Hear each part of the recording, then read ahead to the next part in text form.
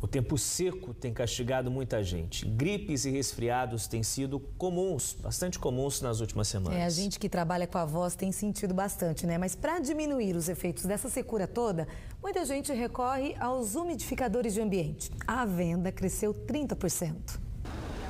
Brilhando forte que o sol tem aparecido neste inverno.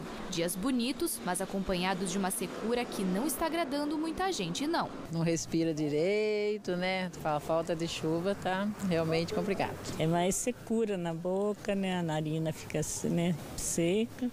E aí a gente tem que tomar muita água, né, para poder se hidratar, né? Neste inverno não foram só as temperaturas que caíram. A falta de chuva tem deixado a umidade relativa do ar lá embaixo no Vale do Paraíba.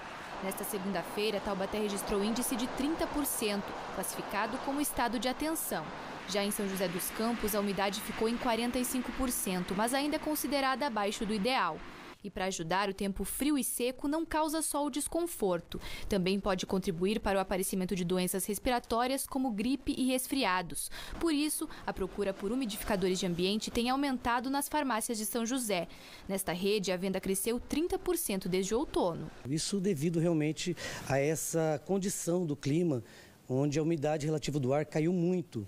Então, para evitar a questão de doenças alérgicas, doenças respiratórias, que aumenta a incidência nesse período, muitas pessoas estão procurando. Com um aparelho desse, é possível deixar a umidade relativa do ar do ambiente em 60%, que é o recomendado pela Organização Mundial da Saúde. Porém, alguns cuidados são importantes, porque se manuseado da maneira incorreta, o umidificador pode acabar prejudicando a saúde. Uma das recomendações que nós fazemos é a limpeza dele, pelo menos a cada dois dias dias, para evitar com que é, se acumule sujeira dentro dele. Senão começa o, o próprio umidificador liberar bactérias para o ambiente. Outra dica é não deixar o aparelho ligado durante a noite toda, pois isso pode deixar o ambiente úmido demais e contribui para a proliferação de fungos.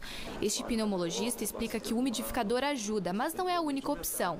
Para evitar doenças respiratórias, o ideal é se hidratar e arejar bem os ambientes. Manter um, um estilo de vida adequado, saudável, ter atenção com a sua alimentação, procurar fazer atividade física, se possível, ao ar livre e ficar atento à prevenção através de vacinas, quando possível, e tratamento das suas doenças respiratórias crônicas quando presentes. A boa notícia é que a chuva tão aguardada aqui na região pode chegar ainda nessa noite. Veja.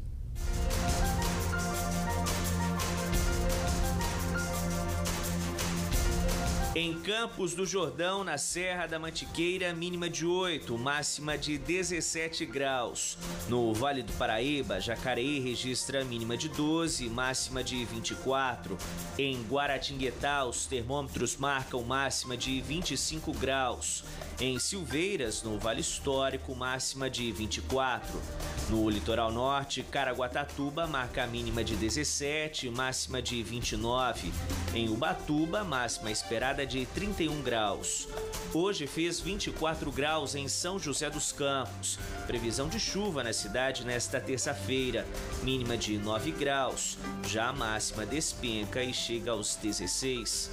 Dia chuvoso também em Piquete, mínima de 8 e máxima de 20 graus.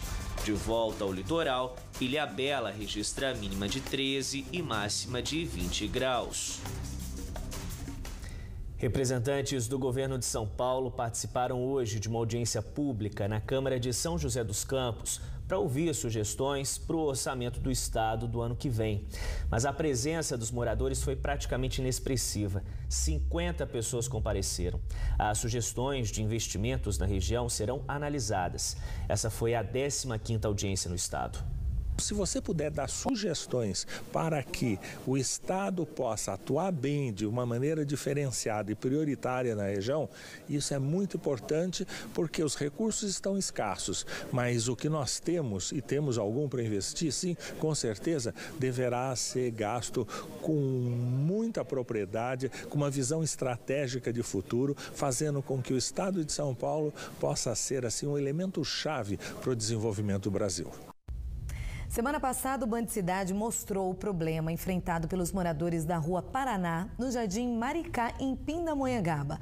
Eles conviviam com muita sujeira, lixo jogado no meio da rua. Segundo os moradores, a situação existia há mais de 15 anos e só foi resolvida após a exibição da nossa reportagem.